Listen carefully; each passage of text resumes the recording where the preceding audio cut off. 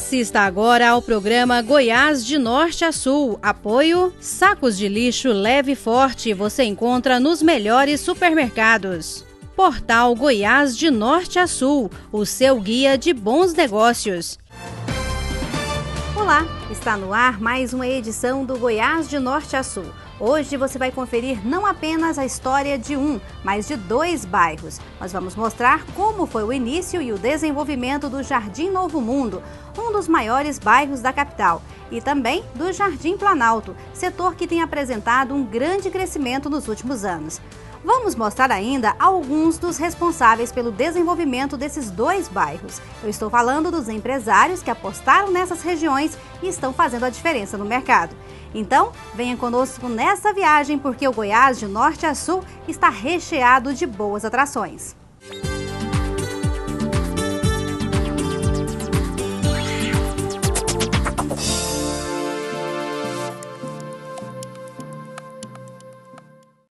Antes de embarcarmos na interessante história do Jardim Novo Mundo, eu peço a sua atenção, telespectador, para as empresas que vamos mostrar agora. São elas que nos ajudam a levar até você as origens do nosso povo através das histórias dos bairros da capital e dos municípios goianos, patrocinando o Goiás de Norte a Sul. Então, conheça melhor essas empresas. Você que já conhece a qualidade do saco de lixo leve e forte, vai conhecer agora parte do processo de produção desse produto.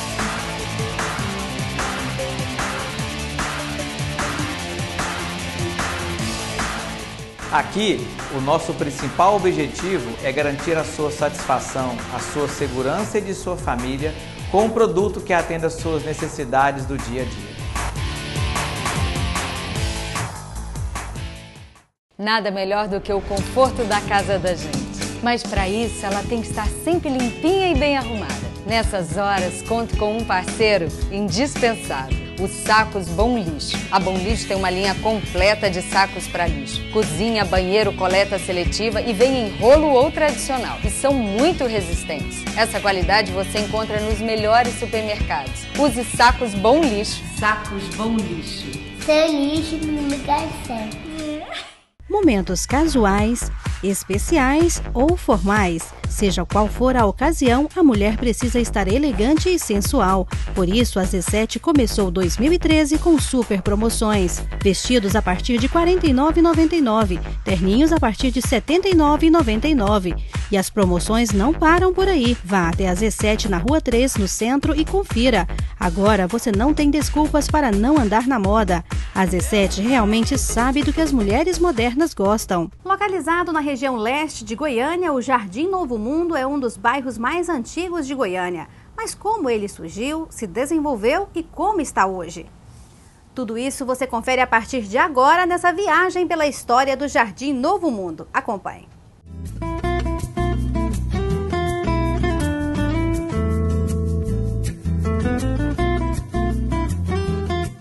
Embora o parcelamento do Jardim Novo Mundo seja dos anos 50, a efetiva ocupação começou muito timidamente na década de 60. A família de Dona Maria foi uma das pouquíssimas que se aventurou a se instalar aqui em 1963. Na rua onde mora, a Valparaíso, havia apenas três casas e o bairro, que nem estava com ruas abertas, mais parecia a zona rural. Não tinha nem rua, né? Assim uns trieirinhos, né? E os gados eram soltos e eles tiravam leite, vendiam no, com latão né, no centro. Era assim. A água era cisterna. O filho de Dona Maria, Lázaro Divino, lembra que no ano seguinte veio o golpe militar, um período de temor para os moradores. Meu patrão era árabe, ele falou: Olha, você chega em casa, corre, fura um buraco, salva a sua vida. Eu já vi isso acontecer na minha terra. Era o meu patrão, chamava seu Mágio. Aí os aviões vinham baixinho, aquilo para nós, que eu não era acostumado a ver, a gente nunca viu, morava na roça, né? Aí aquilo foi um maior terror, até hoje eu não esqueço daquilo, nossa senhora, um trauma. Furei um buraco e levei a minha mãe, queria levar todo mundo para enterrar dentro do buraco aqui embaixo.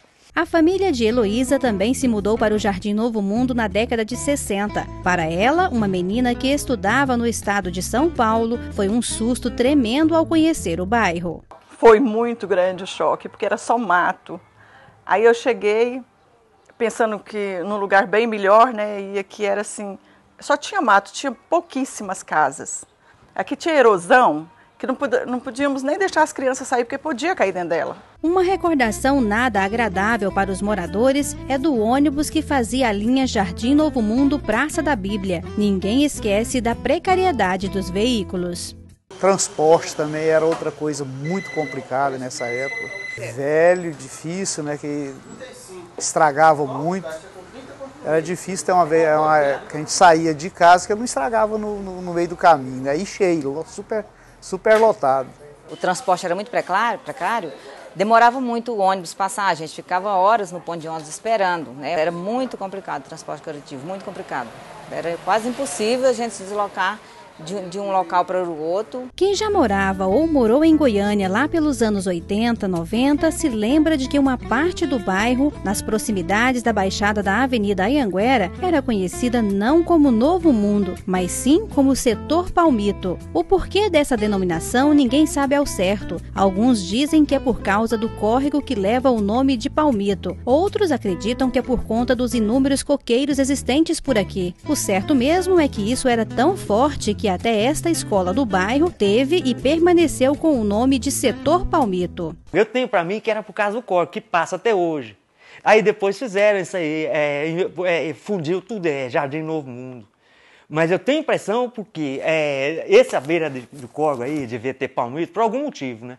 Mas o nome do córrego até hoje esse ninguém mudou, é o palmito. O mestre em arquitetura e professor John Mivaldo da Silveira acredita que o lento desenvolvimento, não só do bairro, como de toda a região, foi motivado em parte pelas barreiras existentes ali. Então, o Novo Mundo tem essa particularidade. É um polo de desenvolvimento, desenvolveu com a desativação da ferrovia, né? ainda que a rodovia hoje estabeleça, ainda permanece com uma certa barreira ao desenvolvimento daquela região e ao próprio bairro mas a partir da, da, da desativação da ferrovia, teve sim essa percussão do início do desenvolvimento do, da região e do bairro também.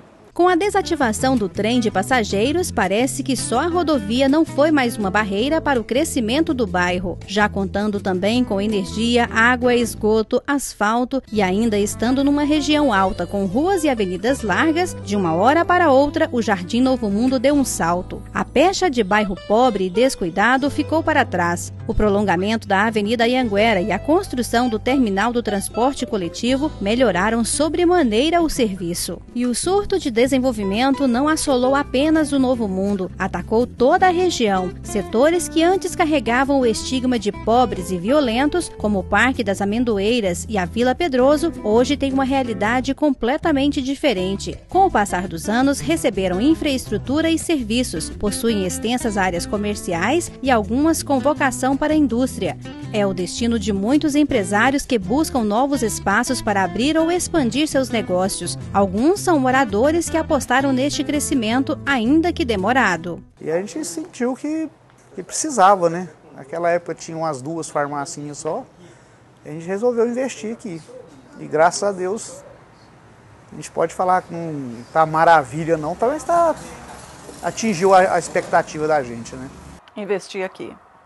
Eu investi aqui, meu esposo investiu aqui, então eu sou feliz com a loja aqui, sabe? Porque eu não vou mudar daqui, porque o bairro aqui é meu, né? E eu gosto daqui. E eu pretendo assim ampliar cada vez mais aqui, porque eu vou é melhorar a minha loja, eu não vou sair daqui. Outros, no entanto, já temem os efeitos nocivos de um desenvolvimento que ainda está por vir. É o caso do psicólogo Lindomar Tomé, que além de morar, trouxe o consultório também para o bairro mas isso vai desfigurar, né? vai tirar a característica do bairro, que é um bairro de pessoas que, que andam na rua. Enfim, a gente vai aumentar a população de carro, vai congestionar, ou seja, é o processo natural da evolução da cidade e que vai descaracterizando a história do, do bairro. Mas o arquiteto John Mivaldo acredita que com as regras estabelecidas pelo último plano diretor da cidade, será possível organizar melhor o crescimento. O novo plano diretor organiza a cidade na forma de microbacias, córregos. Né? Então, os córregos, a, a bacia hidrográfica da cidade organiza o território. Bacana, é uma coisa revolucionária, ainda que a cidade já esteja, de uma certa forma, consolidada. A revelia dessa, dessa preocupação, dessa tese, dessa teoria. Mas o que você começar a organizar o território a partir de, de situações, de condições ou condicionantes naturais, é uma coisa revolucionária.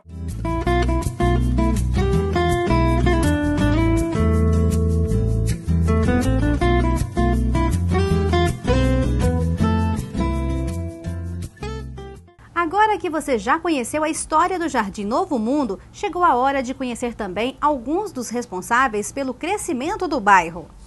Mas quem fala sobre esse assunto é a jornalista Larissa Moreira. Tudo bem, Larissa? Tudo ótimo, Sueli. O que, que você nos conta sobre a parte comercial do bairro? Não só o Jardim Novo Mundo, como demais bairros dessa região têm um grande potencial econômico. E essas empresas, algumas delas você confere agora. Vamos lá? Fundada em 2007, a Barroca Pizza e Burger é uma excelente alternativa para quem procura um ambiente agradável, descontraído e com um ótimo cardápio. Com uma decoração muito charmosa, ao estilo rústico, na Barroca você pode saborear pizzas deliciosas assadas no forno a lenha, massas do jeito que você gosta preparadas na hora, calzones, sanduíches, saladas, sobremesas, bebidas e sorvetes naturais de fabricação própria, sem gordura trans. E a Barroca está com uma promoção de pizza grande mais refrigerante por apenas R$ 29,90 com entregas em toda a região leste. Além disso, a Barroca Pizza e Burger também conta com um salão de eventos com capacidade para 120 pessoas e um atendimento todo especial. E para uma maior comodidade de seus clientes, tem estacionamento próprio, playground, teleentregas e internet Wi-Fi. Pensando em servir ainda melhor sua clientela, a Barroca agora também oferece um delicioso e variado cardápio no almoço, funcionando todos os dias, inclusive domingos e feriados. No restaurante de casa você encontra uma deliciosa comida caseira preparada com todo carinho e servida no fogão caipira. O de casa oferece todos os dias grande variedade de pratos quentes, saladas e churrasco, tendo ainda aquela saborosa feijoada aos sábados. A IM Digital trabalha com venda de aparelhos celulares e diversos acessórios de telefonia e informática, além de também prestar serviços de assistência técnica em celulares, computadores, tablets, GPS e máquinas fotográficas digitais, tudo com total responsabilidade e competência. O supermercado Bruno é sucesso na Vila Pedroso e região. Com açougue, hortifruti e panificadora, os clientes ainda podem receber suas compras em domicílio. No supermercado Bruno você encontra produtos de qualidade, variedade e ótimo atendimento todos os dias, inclusive domingos e feriados. Na Real Móveis você encontra as melhores ofertas em móveis para sala, cozinha, quarto e tudo o que precisar para sua casa. Então aproveite para dar uma renovada no visual do seu lar em uma das duas lojas da Real Móveis, que além de tudo isso ainda oferece atendimento personalizado, entrega e montagem rápida. Impressos gráficos e comunicação visual é com a Gráfica Sena, que está no mercado há mais de 18 anos, inovando sempre para oferecer o melhor aos seus clientes. São blocos, cartões, panfletos, cartazes, convites, adesivos, banners, fachadas e muito mais, tudo com ótima qualidade. Há 13 anos, o supermercado Gabriel tem servido cada dia melhor a população do Recanto das Minas Gerais e região. Com uma excelente e confortável estrutura, oferece completo estoque de secos e molhados, panificadora com as mais deliciosas quitandas, açougue com carnes selecionadas e hortifruti com frutas e verduras sempre fresquinhas. E o melhor de tudo são os preços baixos. Para garantir sempre o melhor aos seus clientes, o supermercado Gabriel funciona todos os dias, inclusive domingos e feriados. E se o cliente preferir, preferir, tem ainda a entrega em domicílio. O Centro Automotivo Amendoeira realiza com excelência os serviços de alinhamento, balanceamento, suspensão, freios, desempenho de eixo e muito mais. Tudo com profissionais qualificados e para melhor atender conta com duas unidades, em Goiânia e Senador Canedo. Larissa, agora eu quero convidar os nossos telespectadores para, antes de embarcarmos na história do Jardim Planalto, relembrarmos de nossa última edição, quando estivemos na Cidade Livre, mais um importante bairro de Aparecida de Goiânia. É verdade, Sueli. A Cidade Livre é um bairro que tem se desenvolvido muito na nossa vizinha Aparecida de Goiânia e vem crescendo aí de forma acelerada. E não só a história da Cidade Livre, como também de muitos outros bairros e também municípios, não é mesmo, Sueli? É verdade, com certeza. Por onde o Goiás de Norte a Sul já passou, você pode entrar no portal que a história, as empresas que participaram do programa estão lá. O portal Goiás de Norte a Sul está se tornando o maior guia comercial do estado. Vale a pena conferir. Agora vamos falar da Cidade Livre, né, Larissa? Justamente. Agora nós vamos conhecer alguns dos empresários, não apenas da Cidade Livre, mas também de vários outros bairros daquela região que têm investido e crescido cada vez mais. O O Fortcar Centro Automotivo oferece o que há de melhor em injeção eletrônica, alinhamento, balanceamento, suspensão, regulagem eletrônica, limpeza de bicos, troca de óleo e mecânica em geral, além de pneus novos e remoldes, peças novas e usadas e acessórios.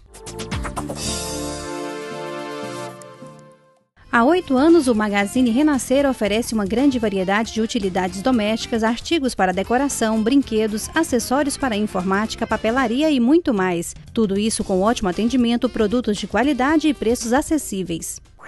Uma deliciosa comida em um ambiente agradável você encontra na Churrascaria Silvestre. O local oferece aos clientes um amplo cardápio com mais de 50 variedades, churrasco na brasa e deliciosas sobremesas, além de uma sala de repouso com total conforto. O excelente atendimento também é cortesia da casa. Colégio Eficaz trabalha pelo aprendizado contínuo, buscando despertar no aluno o interesse pelo conhecimento. Com 13 anos de experiência, a instituição oferece ensino de qualidade da educação infantil ao pré-vestibular, com salas climatizadas, todas com câmeras de segurança e armários.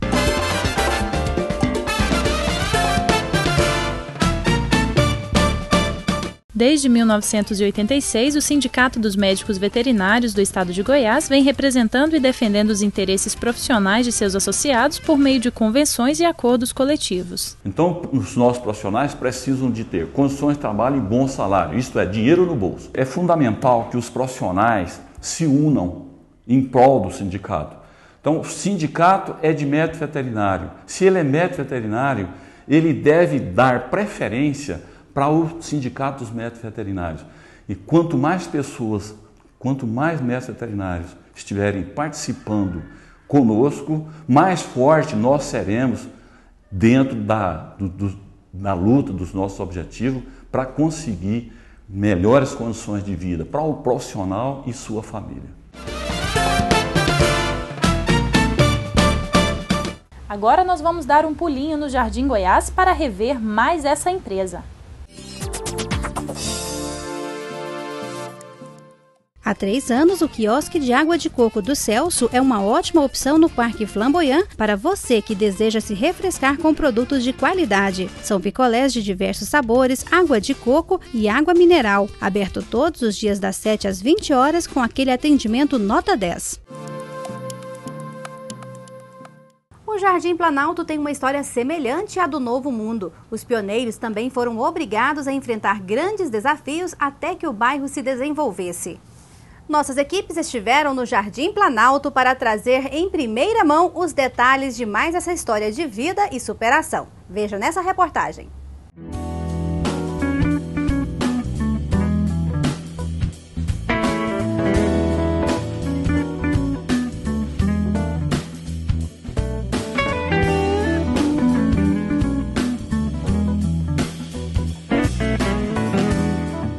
Cercado por importantes bairros como Jardim Europa, Vila Resende, Vila União, Vila Bela, Parque Anhanguera e Jardim América, o Jardim Planalto está localizado na região Macambira-Cascavel, um local privilegiado pelo grande desenvolvimento. E o Jardim Planalto conseguiu acompanhar o progresso de todos esses bairros. Atualmente oferece à população local uma excelente qualidade de vida, mas nem sempre foi assim. Jardim Planalto é, é, era, uma, é, era uma fazenda cheio de gado. Eles fizeram o luteamento, abriu as ruas, mas só as picadas, né? Não tinha rua. Só tinha castrieiro.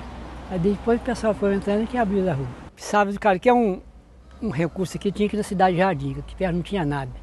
Para atravessar para o Jardim América ali, só tinha uma ponte caída, era a travessia nossa. Isso aqui tirava, enchia os tambores d'água ali do menino, a, a vaca chegava a beber a água, os meninos ficavam, água tirada na, na cisterna, na, na lata. Para lavar a roupa era maior pendendo. Aqui não tinha construção nenhuma.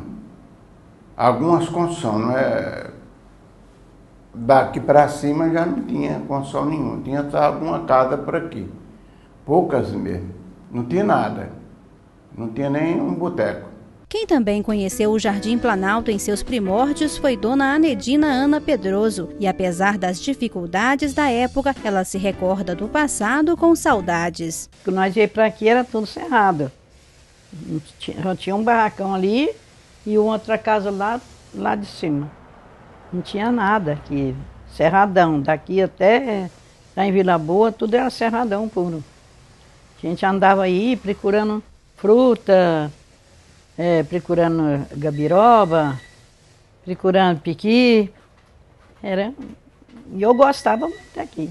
Seu Pedro Lacerda Ramos chegou ao bairro em 1975 e, devido à total falta de infraestrutura, ele encontrou muitas dificuldades até mesmo para construir sua casa. A rua só vinha até aqui na minha casa, para cima não subia. E da T9 para cá foi feito, eu pus gente para fazer de enxadão e, e, e picareta, esse trem, para poder passar carro, né? Porque comecei a construir, tem que deixar material aqui para poder construir, né? Seu Abedias também foi outro que sofreu muito devido à precariedade do bairro. E era com as máquinas, passaram ali, parou a chuva deles, barrancou, fez barrancada aqui até, até no colo. Minava água aí. Nós tínhamos com as tábuas para poder atravessar. A minha esposa trabalhava com um carrinho de salgado ali na Vila União. Todo dia que ela trabalha passar para lá. Eu passava de madrugada, levava com estado de ovinho do serviço. E a minha vida foi desse jeito. A falta da energia elétrica era uma das deficiências do bairro que mais incomodava os primeiros moradores, tanto que vários ajudaram para que o benefício chegasse ao Jardim Planalto. Era lamparina. Aí tinha vindo até, até na Vila União. Aí nós fomos para cá, bastava quatro postos, que inclusive esses quatro postos de madeira aí. Ó. Nós, na turma aqui, compramos os postos e que eles puseram energia. Durante toda a década de 70 e início dos anos 80, as características do bairro eram de muita simplicidade. Assim também eram as casas, e os poucos moradores se arranjavam como podiam. A água de cisterna, né? Puxado no, no balde, na carretia, outrora no sario. É, era assim. Banho, a gente ia, ia buscar a serragem, fazia fogaredo para esquentar água para tomar banho não tinha banheiro, né? Era dizer banheiro de tábua, sair de tábua, esfaiado. Era aqueles ainda, sabe, de fósforo. Dona Anedina se recorda ainda que a falta de infraestrutura não era privilégio somente do Jardim Planalto. Naquela época, toda a região sofria com a falta dos serviços básicos. Esse Jardim América aí era pura poeira quando começou os barracos, aquelas barracas, né? Eu vim para cá e Ali tudo era cerradão.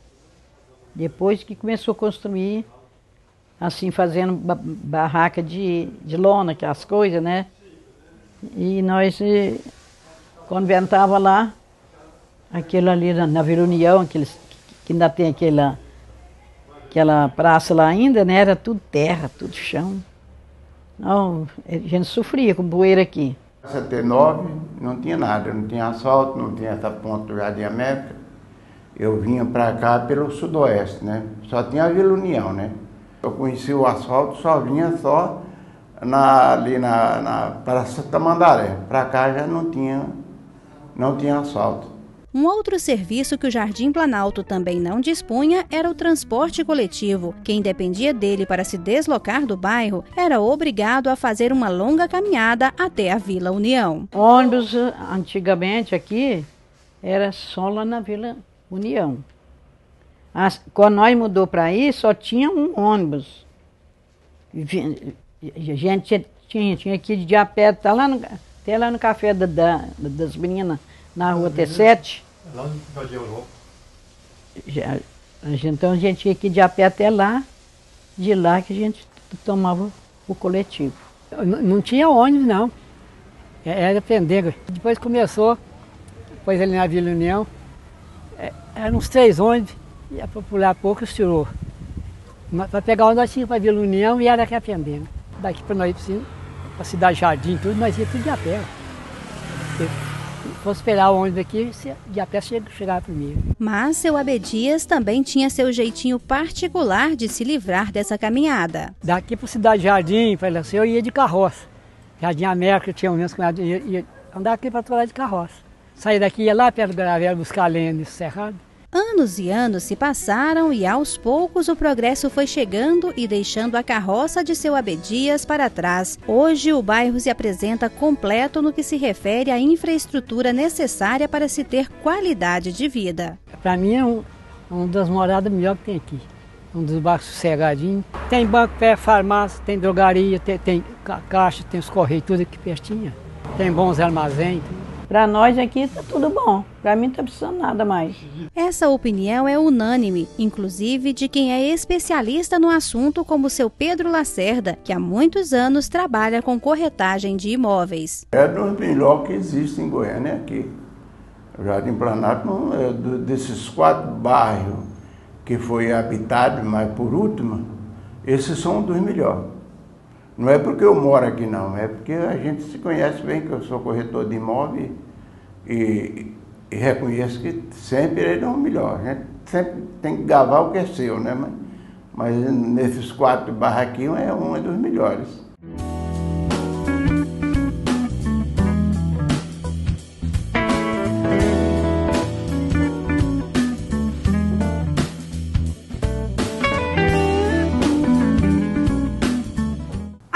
Moradores, outras pessoas também acreditaram no potencial do Jardim Planalto e região. Estou falando dos empreendedores que hoje colhem bons frutos.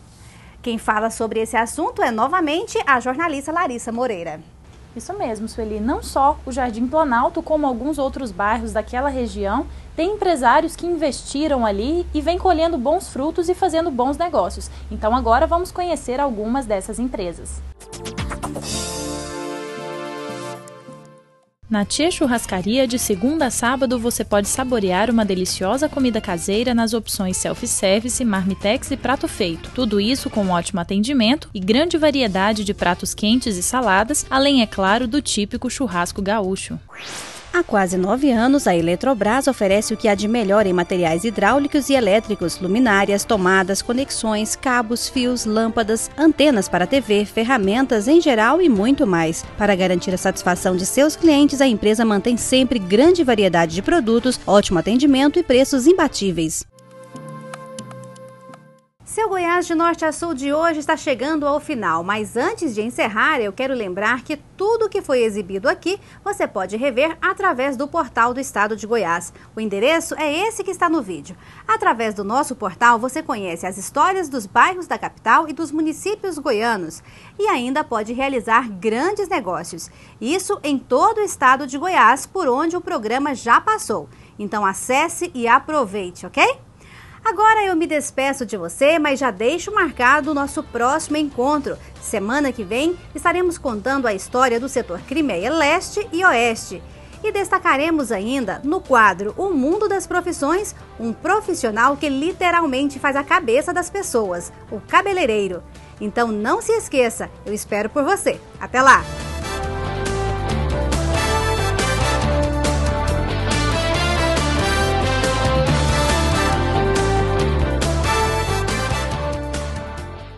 Você assistiu ao programa Goiás de Norte a Sul. Apoio Sacos de lixo leve e forte. Você encontra nos melhores supermercados. Portal Goiás de Norte a Sul, o seu guia de bons negócios.